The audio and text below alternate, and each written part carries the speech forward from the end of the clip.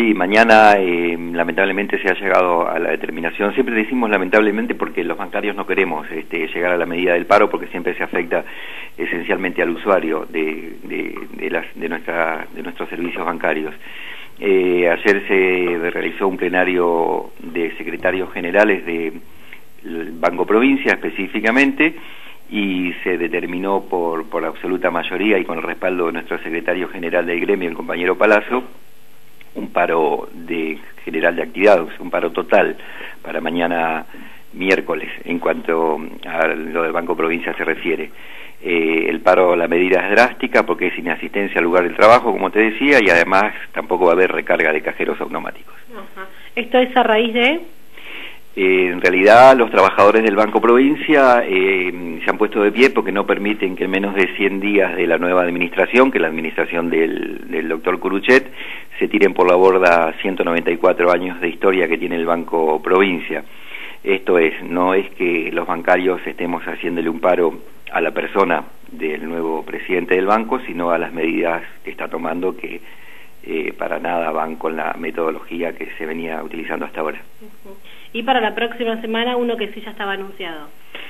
en realidad el de la próxima semana ya era algo que se venía a venir, que es un paro nacional. Ahí sí ya estamos hablando específicamente de todos los bancos del país, de los bancos públicos y privados, eh, y que tienen que ver con, con la reincorporación, en principio, con el pedido de la reincorporación de los cesantes del Banco Central y de otros bancos, y también tiene que ver con el temor de la desaparición de, de, algunos bancos privados, como en el caso del Citibank, que ahí está la posibilidad de que se vaya del país y donde quedarían sin trabajo 2.900 compañeros. Andrea, Carlos te está escuchando. Carlos, buenos días y bueno, gracias por recibirnos también allí en la sede de la bancaria. Eh, escuchaba eh, que decías el paro al que llega el personal del Banco Provincia tiene que ver con que la nueva eh, comisión eh, directiva, las nuevas autoridades pretenden cambiar en 100 días más de 100 años de historia. ¿Por dónde pasan esos cambios que se pretenden aplicar en el trabajo del Banco Provincia? Mira, Andrea, buenos días. El Banco Provincia tiene 194 años de historia, ese es un banco, uno de los bancos más antiguos del país y la verdad es que, como te decía al principio, no vamos a permitir que se tire por la borda todos los logros que ha tenido este banco durante tantos años.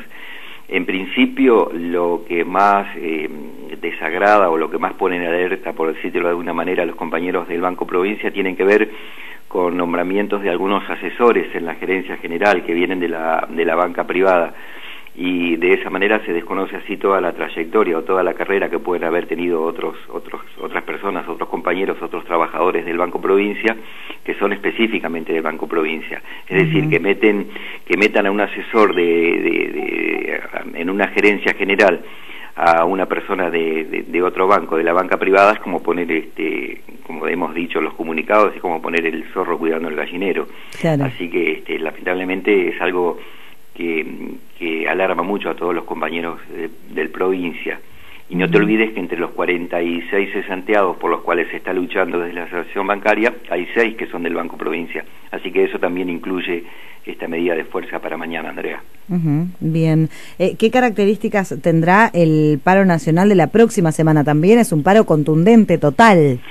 Sí, eh, mañana estamos este, viajando a Buenos Aires para tomar este conocimiento de cómo se va a implementar este paro nacional. Eh, este paro nacional tiene que ver con todo con todo esto que hemos venido hablando estos días atrás, Andrea, Con, con el tema de las paritarias, que todavía no hemos tenido ni siquiera un acercamiento para hablar ni siquiera de, un hipotético porcentaje de, aumento en nuestros salarios, tiene que ver con la reincorporación de los cesantes, tiene que ver con el, el reconocimiento del impuesto a las ganancias, es decir, es algo que casi hasta agota repetirlo y repetirlo y repetirlo, pero bueno, como no ha habido ninguna señal por parte de las autoridades, de los bancos, tanto de los públicos como de los privados, es que este, la Asociación Bancaria toma la medida para el próximo jueves 14 de, un paro nacional de, actividades. Es decir, estamos viendo que hay incrementos de todo tipo, de aumentos desmedidos en todas las tarifas y, bueno, los sueldos de los bancarios, como lamentablemente de otras actividades también, eh, no han sido tocados, no han sido ni siquiera sometidos a análisis de un aumento en paritarias.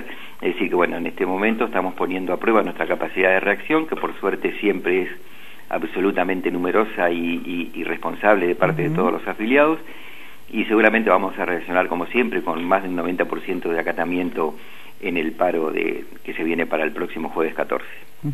Eh, eso iba a preguntarte, jueves 14 es la fecha del paro nacional. El jueves 14 es la fecha del paro nacional, todavía no se ha tomado este conocimiento acerca de, cómo se va a implementar la medida, si va a haber recarga de cajeros automáticos, si va a ser con concurrencia o sin concurrencia en los lugares de trabajo, pero bueno, lo importante es que el paro no va a haber atención al público, lamentablemente, y mm, también es notable destacar que en la seccional Peguajó, en esta seccional, en las cuarenta y tantas sucursales que componen la seccional Peguajó, eh, los paros nacionales han tenido un acatamiento entre el 89 y el 96% en todos los paros que ha habido eh, en el año pasado, que hubo varios paros y en los que suponemos que lamentablemente, y ojalá que no, se van a venir este año, pero lamentablemente, eh, debido al silencio que hay de la otra parte, vamos a repetir la historia del año pasado, lamentablemente.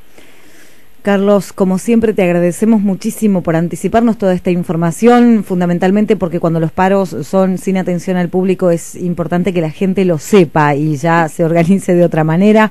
Eh, estamos como siempre a disposición para seguir difundiendo toda la, información y cómo marcha esta, esta lucha, este plan de lucha del sector bancario. Perfecto, Andrea, muchas gracias. En cuanto a lo de mañana, que ya es inmediato, lo de mañana ya no tiene marcha atrás.